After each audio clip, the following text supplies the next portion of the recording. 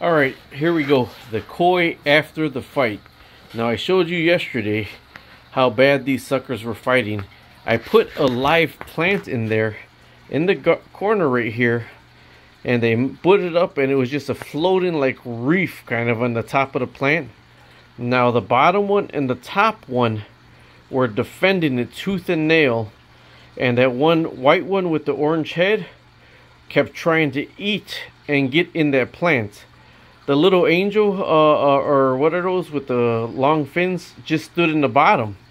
And that one and that one were beating up that one the whole day yesterday that was trying to get at the plant up in the up in the uh, the tank.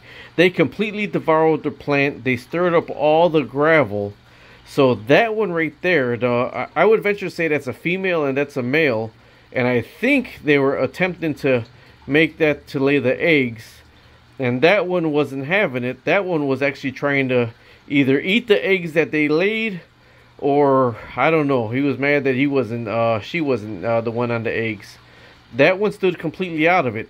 So that one right now and that one those two all morning been in the quarter gasping for air.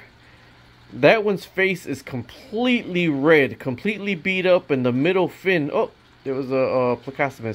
The middle fin on the riser is torn in half. Okay, so these two are fighting tooth and nail, and you see both of them gasping for air right now.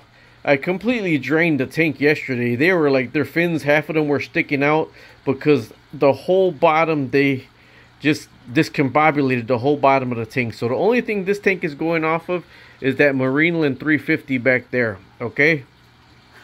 This is the tank they were in that cracked. So the crayfish been doing okay in there. They're living their best life. There's some cabbage in there floating around that they're eating. But what I noticed, see that's the plant that I had in there. That plant at the top that I just threw in there. It was a nice bunch and they just tore it apart. The crayfish are probably going to eat some of that. Uh, but what I need to do is I need to fix this tank because I love how the plants stick out the water. Are all plastic because marbled crayfish are vegetarian. So those are all plastic. But everything sticking out the water, the marbled crayfish doesn't have room to hide because the marbled crayfish hide. There's like 15 of them that can get in each one of those plants. So here's what the marbled crayfish. See, look at that that king mama right there inside of that decorative rock. They're all over right here. So my thing with this right here is I'm going to put a ratchet strap around the whole tank. Not to bog it down, but this is getting drained out because it's still leaking. It's getting drained out and those marbled crayfish are getting a whole new video put in that rain barrel that I'm repairing right now. Whole different video. And then I'm going to drain this one completely down again because of the crack. It cracked in the corner and it is leaking but it, it leaked only to where the power head is right now. That's gonna get off of it. So this this tank right here still has the under gravel filter. I took the under gravel filter off of that tank because that was the crayfish tank, but they get underneath the under gravel filter and they live and they're naturally pick at it. They they pick at the uh, caulk, okay? So that's coming off right here. There's enough filtration. With that power head, there's an under gravel filter I got the heater over here. The uh, that's duckweed. The heater, the thermostat. Then there's another little filter back there. So this is more than enough filtration. You see, this one's crystal clear. That one's still kind of uh, cloudy. But yeah, those two koi that were fighting are gasping for air up there right now.